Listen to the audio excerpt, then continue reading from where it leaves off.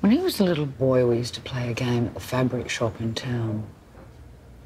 He'd go off and hide in all the big, tall rolls of fabric, and then I'd try and find it.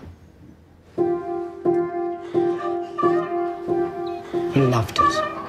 I loved it.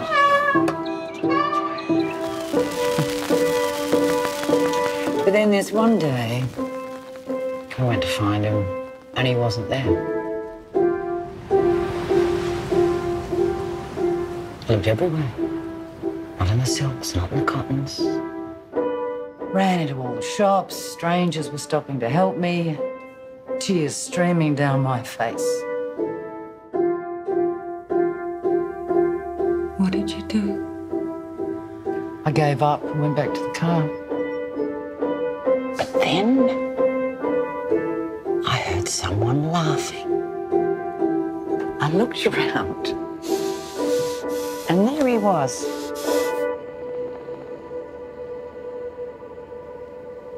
Lying on the floor of the back seat, looking up at me, laughing. Laughing at my pain. Laughing like it was the funniest thing in the world.